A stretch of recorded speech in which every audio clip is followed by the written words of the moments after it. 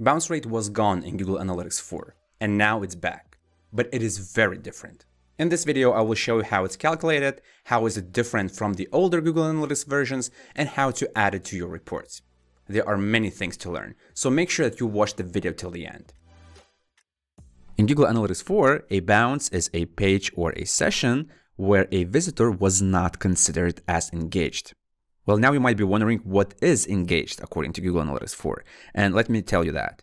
Engaged in GA4 means that a visitor stayed at least 10 seconds on a page, but you can tweak that. And later in this video, I will tell you how to do that.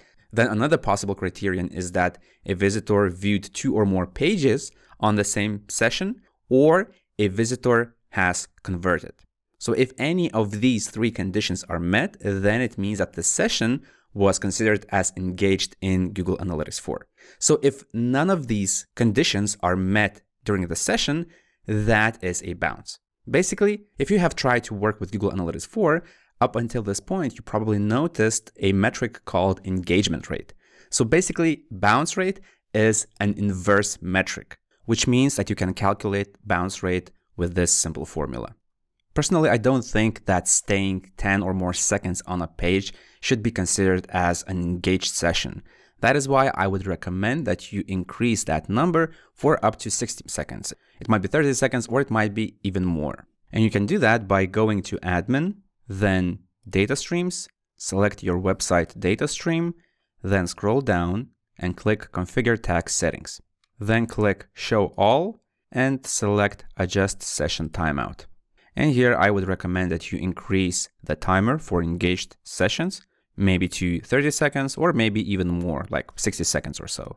Obviously, this will increase your bounce rate, but at least it will give you a bit more realistic view rather than 10 seconds. Because think about how you browse the website.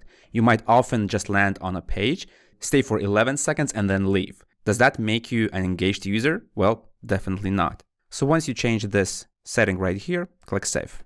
And after that, this part will change to 60 seconds as well. Now let me show you how to add bounce rate to reports because by default it is not displayed. And then we will come back to comparing the difference between the old bounce rate in Google Analytics 3 and older versions against Google Analytics 4 because that difference might be important in your work. To add bounce rate, go to reports and then let's add a report to, for example, engagement pages and screens. Then you will need to click a pencil icon right here to customize the report. If you don't see this, then it means that you don't have enough permissions in this property. Click Customize Report. Then let's click Metrics and add metric. Then keep looking for bounce rate. You can make it more visible, for example, to drag it next to the engagement time and then click Apply. Also, another thing that is not displayed here by default is a dimension called landing page. So here's what you could do. You can click on dimensions, then add dimension, and then keep looking for landing page. Click it, and then click apply. Then click save. Save changes to the current report. Save. Now let's go back and let's see how this works. So first of all, you can change the primary dimension from something that you have here to landing page.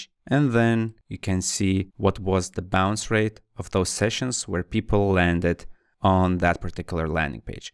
Obviously, this is data from my test website, so I'm usually visiting more than one page on these pages, or maybe I spend more than you know, 10, 60 seconds or whatever. That is why my bounce rate is pretty low, but on these pages, we can see that I just visited them, and then was considered as not engaged. You can do the same thing for other reports. For example, you can go to acquisition and traffic acquisition, and then you can click the pencil to customize. And in the metrics, add the bounce rate. So add metric and bounce rate. Click apply. Then we can actually maybe go back to metrics and change its location next to the engagement rate. Or maybe if you don't want, you can even remove the engagement rate if you don't find it useful. Then click apply, click save, save changes to the current report and save. Then go back and there you have it. Now you can see the session default channel grouping and their bounce rates. If you want, you can also customize this report even more and build it or actually recreate it in explorations. So you can do that by clicking the Edit Comparisons button here and then click Explore.